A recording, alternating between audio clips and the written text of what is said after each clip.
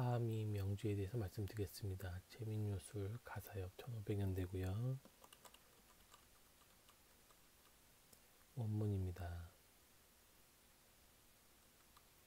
번역문입니다.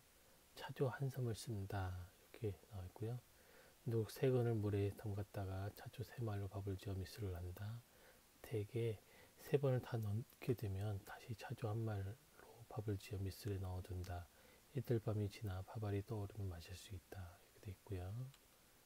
조리법입니다. 미술 1. 누룩 세 근을 물세 마리 담가 놓는다. 2. 차조 세 말로 밥을 지어 누룩 불린 물에 넣는다.